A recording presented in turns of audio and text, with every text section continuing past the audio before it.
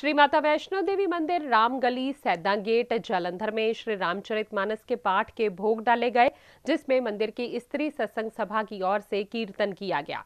इस अवसर पर पार्षद शैरी चड्डा, पार्षद उमा बेरी और पार्षद राधिका पाठक ने विशेष रूप से उपस्थित होकर माथा टेक आशीर्वाद प्राप्त किया। इस मौके पर सभा के सदस्यों की ओर से आए हुए सभी गणमान्यों को माँ की चुनरी देकर सम्मानित भी किया गया।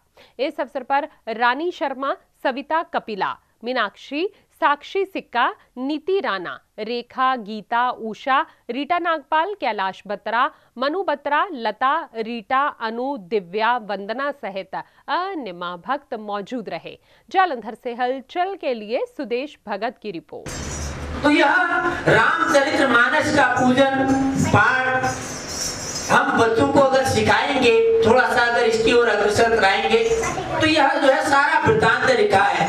किस किस प्रकार से भाई ने होना चाहिए, किस प्रकार से पत्नी ने होना चाहिए, किस प्रकार से पितर ने होना चाहिए, और कितनी आदमी से छोटी छोटी गलती हो जाती है बड़े बड़े लोगों से गलती हो जाती है।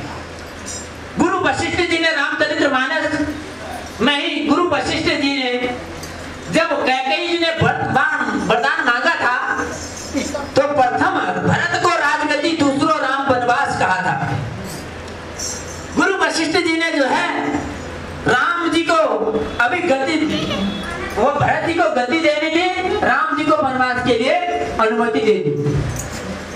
अगर भरत जी को गति दिलाते पहले, भरत जी गति स्वीकार नहीं करते तो माँ बहुत प्यार करती थी।